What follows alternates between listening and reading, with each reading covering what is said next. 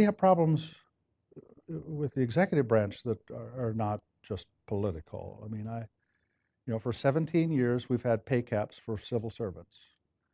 And so it's created a, a serious deterioration in the quality of the civil service.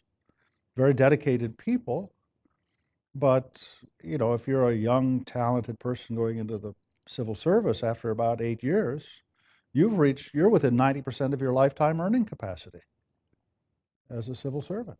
Well, how many want to stay 32 more years?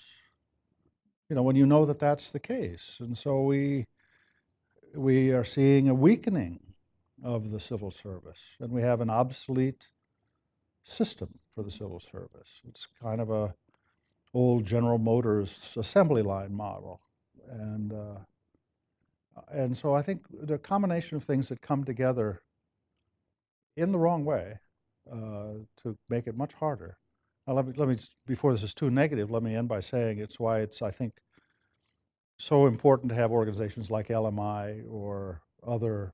I'm, i serve on the board of MITRE. Uh, I think why FFRDCs, my, uh, LMI, Noblis, other companies are so important in this landscape because we're doing the work that the government needs to have done, but by a combination of things, pay, uh, uh obsolete civil service practices, et cetera, the government can't do it.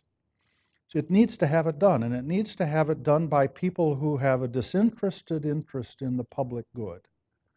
Not, uh, that's not to say there's anything wrong with people that are trying to make profits. I think that's, we need them too.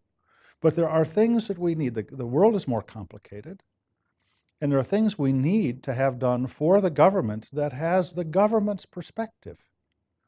And I think that's what LMI does. So I think what you're all doing is more important now than ever because our government is getting weaker. And we, we can't afford to have a weak government.